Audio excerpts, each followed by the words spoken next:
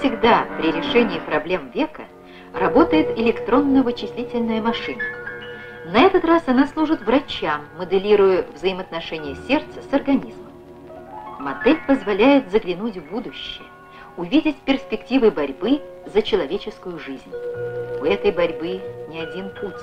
Сначала в живом организме появились первые детали искусственного сердца, клапаны.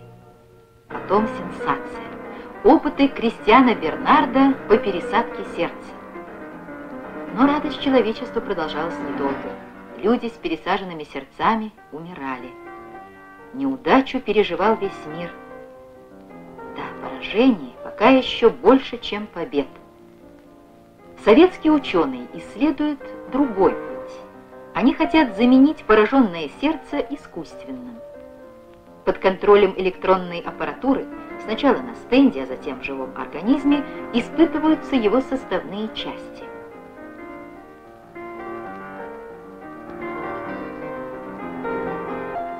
Испытание все сложнее, все ответственнее.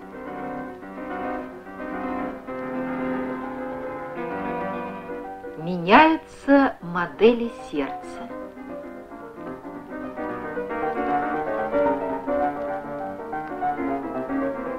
И, наконец, кардиограмма сказала «пора».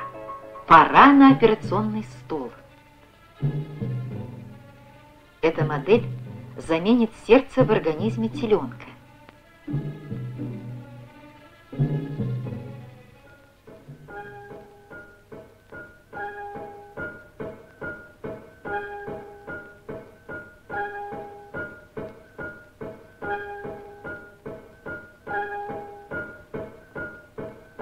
Сложная операция. Накапливается опыт. Первые удары искусственного сердца в живом организме. Ученые нащупывают дорогу к высокой цели.